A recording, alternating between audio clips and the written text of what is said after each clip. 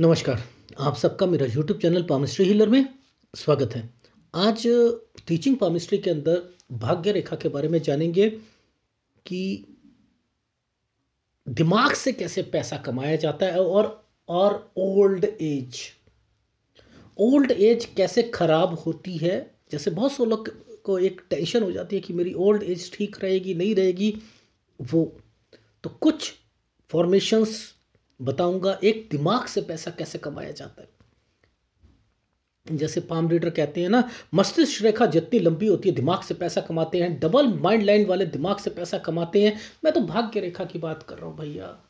मैं तो भाग्य रेखा की बात कर रहा हूँ कि भाग्य रेखा कैसे माइंड से पैसा कमा सकती है। देखो, यहाँ पर चेंज हो गई सारी चीज़ें।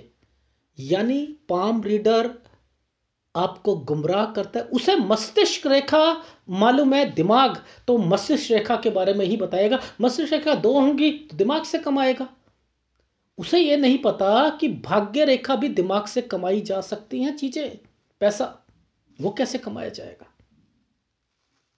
इट मीन्स ज्ञान की कमी है। देखो, ये भाग्य रेखा है, ठीक है? ये भाग्य रेखा। ये मस्तिष्क का है। अब क्या करना है कि यहाँ से कोई भी रेखा निकलकर, कोई भी रेखा निकलकर इसे टच कर दे। ना बाहर जाए, ना आगे जाए, ना कुछ करे। यहाँ पर रुक गई। यहाँ रुक गई। बस। ये यहाँ रुक गई तो आप ये सोच लो, आपका दिमाग इतना तेज चलेगा कि आपको दिमाग से पैसा कमाओ अब ये दिमाग से पैसा कैसे कमाया जाता है? कंसल्टेंसी की फ़ील्ड और कौन सा है? ऑनलाइन काम। और कौन सा है? सर वो लोग गुमराह करते हैं ना ये कि अच्छे पाम रीडर बनने के लिए ये चिन्ह होना चाहिए, वो चिन्ह होना चाहिए, ये है, वो है। ना ना ना ना ना। ये भी एक एक होता है चिन्ह। ये भी उनमें से एक चिन्ह है। अच्छे ज्योतिष बनने हैं, बनना है।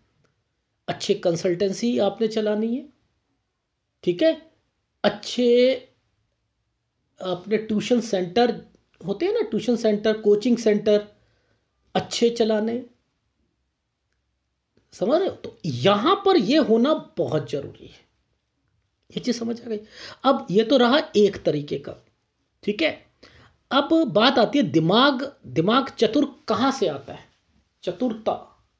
चतुरता चतुरता वाणिज्य चतुरता सर, ये तो बुद्ध का पार्ट है। चलो, अब ये वाली रेखा को हम ऐसा करते हैं ना, यहाँ पर पहुँचा देते हैं। यहाँ पहुँचा देते हैं। ये भी वही। दिमाग से पैसा कमाए। बिल्कुल दिमाग से पैसा कमाएगा। दिमाग से।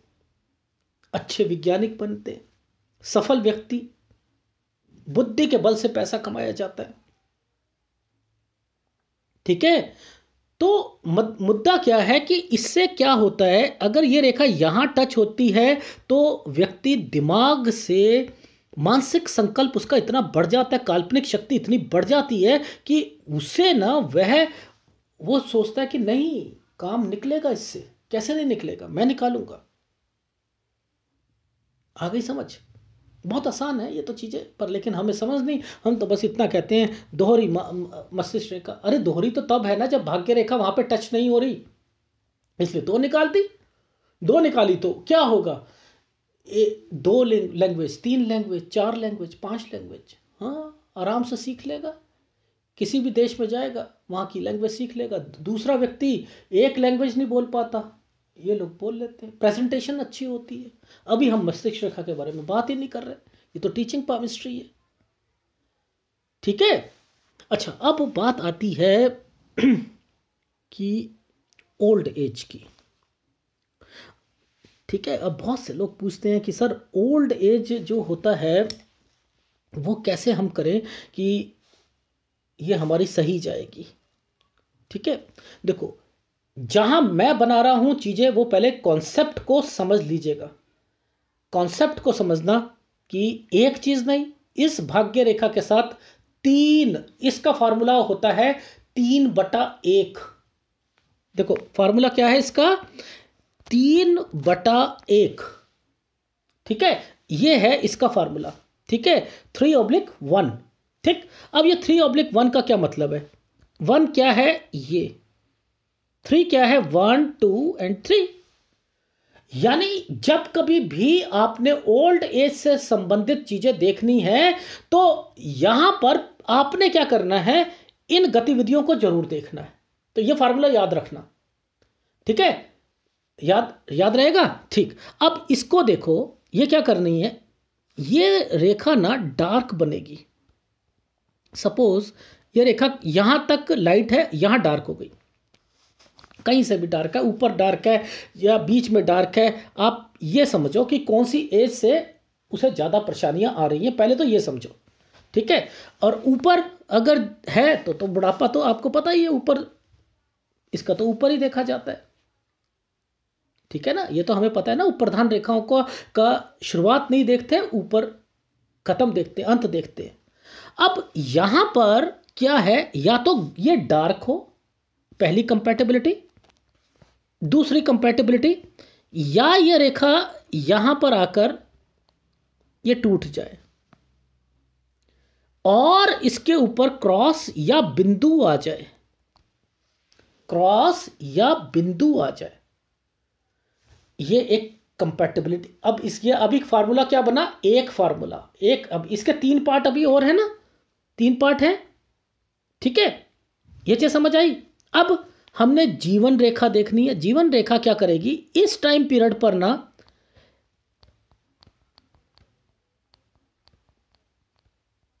ये ऐसे टूट जाएगी, इस टाइम पीरियड पर।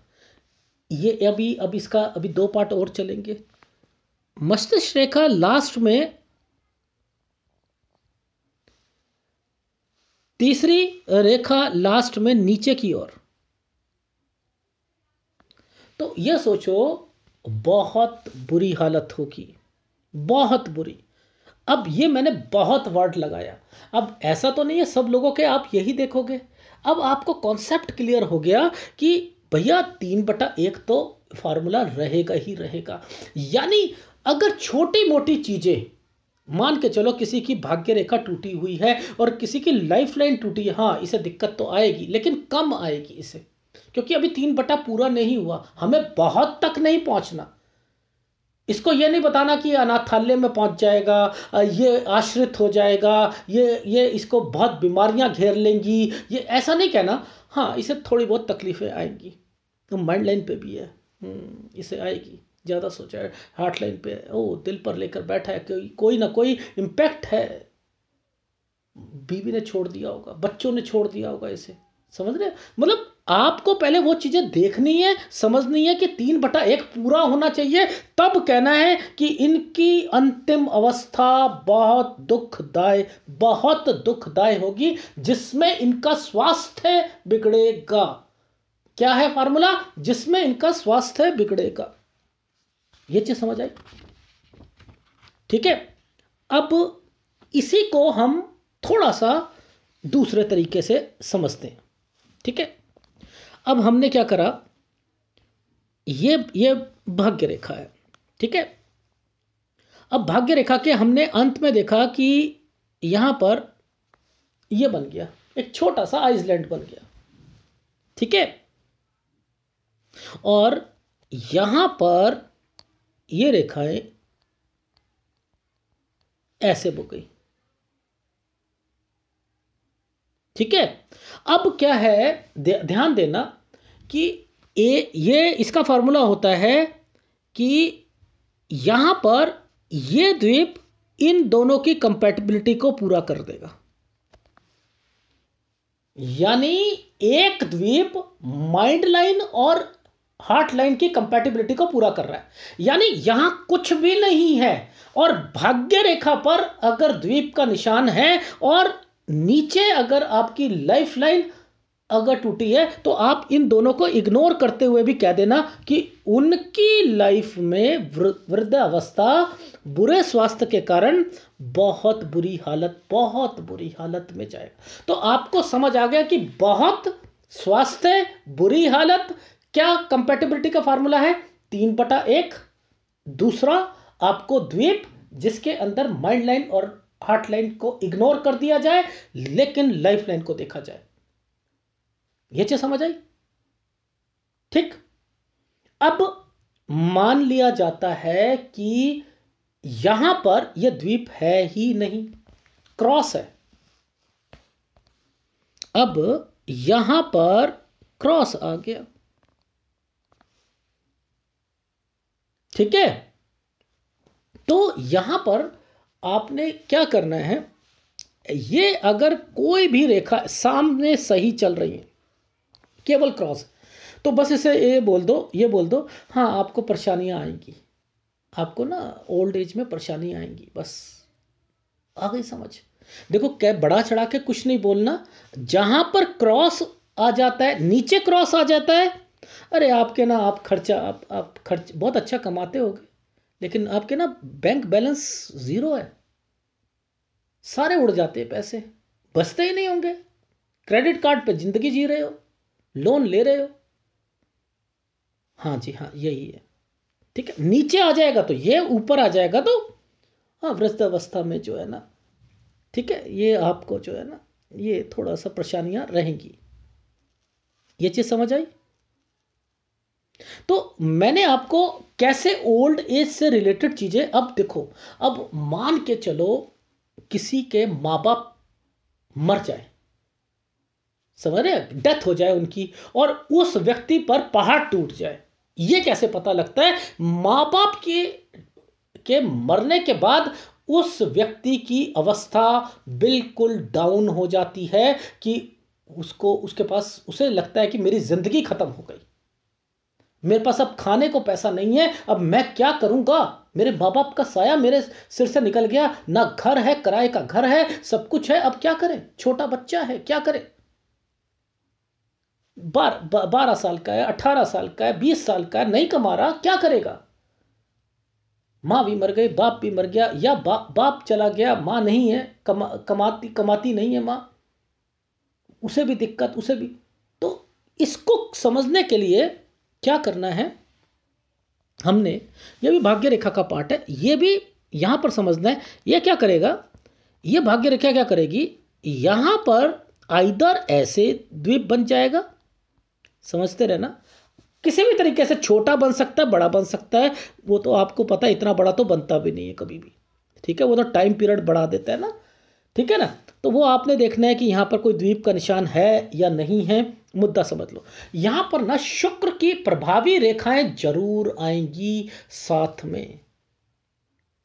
इससे निकलती हुई रेखाएँ ज़रूर आएँगी और एक रेखा यहाँ से ज़रूर आएगी। यहाँ से ज़रूर आएगी। ठीक है? यानी मुद्दा क्या है? ये रेखा यहाँ से आ गई। ये यहाँ भी बढ़ सकती है। भाई, उसके पिता की डेथ कहीं भी हो सकती है ना, यहाँ भी हो सकती है। इस एज में भी हो सकती है। बड़ी उम्र में हो जाए, कुछ बहुत अच्छा बिज़नेस चल रहा था, सारा घाटा हो गया, बाप के पास बहुत पहले पैसा था, लेकिन वो दिवालिया घोषित हो गया, पिता को डेथ हो गई। बहुत सरकमस्टांसेस होते हैं, आप ये सोच के चलो ना। मुद्दा क्या है? उम्र छोटी तो यहाँ तक, और बड़ी तो यहाँ तक। मुद्दा समझो, यहाँ पर मान के चलो स्टार या छोटा सा द्वीप, स्टार, छोटा सा द्वीप, छोटा सा द्वीप, और यहाँ से रेखाएँ ऐसे ऐसे, या यहाँ से रेखाएँ ऐसे ऐसे। लेकिन वो रेखाएँ इन रेखाओं के साथ टच होनी चाहिए। सपोज़ मान के चलो ये एक द्वीप है, ठीक है? अब इस जो द्वीप की ये रेखाएँ क्या करेगी? एक रेखा ऐसे आ जाएगी, एक रेखा ऐसे आ जाएगी। ठीक है? और एक रेखा जो है, यहाँ पर आ जाती है। अब किसी ना किसी तारक से ये रेखा इससे मिल जाएगी। आ गई समझ? आ गई। अब ये क्या करेगी? ये क्या करती है कि शुक्र की प्रभावी रेखाएँ ना क्या करेंगी? इस वाली रेखा को टच करने की कोशिश करेगी, आइदर द्वीप को या यहाँ पर स्टार को। ठीक है? ये करेंगी और अब क्या होगा? यहाँ पर जो द्वीप का निशान है, ये प्रभावी रेखाएँ, ये प्रभावी रेखाएँ ज़रूर होनी चाहिए।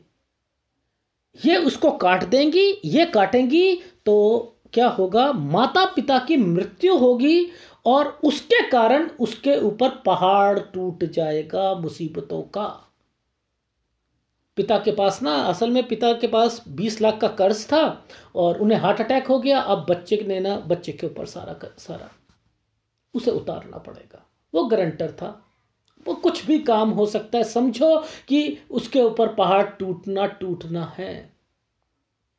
पिता का, की फैक्ट्री जो थी, वो नीलाम हो गई। अब ये किराए पर आए उन्हें हार्ट अटैक हो गया। एक तो वो बीमारी का पैसा, एक उधर से कुछ नहीं, किराए पर आए हैं। और वो बच्चा सोच रहा है कि यार, अब तो मेरी और ज़िंदगी ख़राब हो गई। माँ बाप के मरने के बाद तो मैं और कहीं का कहीं पहुँच गया।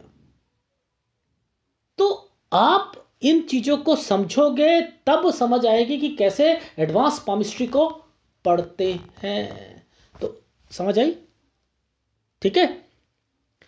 अच्छा अब एक लास्ट चीज़ और बता देता हूँ। वो भी एक्चुअल में ये आइसलैंड से रिलेटेड है, भाग्य रेखा पर, ठीक है? ये क्या होता है कि भाग्य रेखा जहाँ से शुरू हो रही है ना सपोज़ शुरू या शुरुआती टाइम पीरियड यहाँ, ठीक है?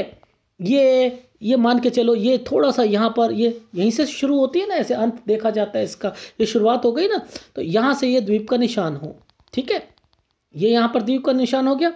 अब आपने देखना है कि यहाँ पर यह जो शुरुआती टाइम पीरियड होगा ना उसका, वहाँ पर मस्तिष्क रेखा और ये वाली जीवन रेखा यह टूटी हुई हो। बस। इससे क्या होता है, उसका जो दिमाग होता है ना, उसका विकास ही नहीं हो पाता। समझ रहे हो? तो कमज़ोर मानसिकता का ना ये ये इशारा देती है। इसकी जो मानसिकता है वो कमज़ोर होगी। कमज़ोरी के संकेत देगी। तो आपने देखना है कि कुछ बच्चे पढ़ नहीं पाते, बहुत नहीं पढ़ पाते, उन्हें जितना मर्ज़ी समझा दो, पीट लो, जो मर्ज़ी कर लो। तो आपने पहले देखना है, क्या ये कंपेटेबिलिटी मैच हो रही है या नहीं हो रही है? ये ये भी एक उसमें से जो है कंपेटेबिलिटी बैठती है। आ गई समझ? तो मैंने आपको एक वीडियो के अंदर बहुत सारी बताया कि ओल्ड एज बताया, उसके बाद बताया कि कैसे दिमाग से कम लिया जाता है और वैसे बताया कि माँ बाप की मृत्यु जो होती है, उस पर पहाड़ टूटता है तो वो कैसे होता है और मानसिकता कमज़ोर, कमज़ोरी की निशानी कैसे होती है? ठीक है? तो अगर वीडियो अच्छा लगे तो प्लीज़ लाइक कीजिएगा, कमेंट ज़रूर कीजिएगा। धन्यवाद।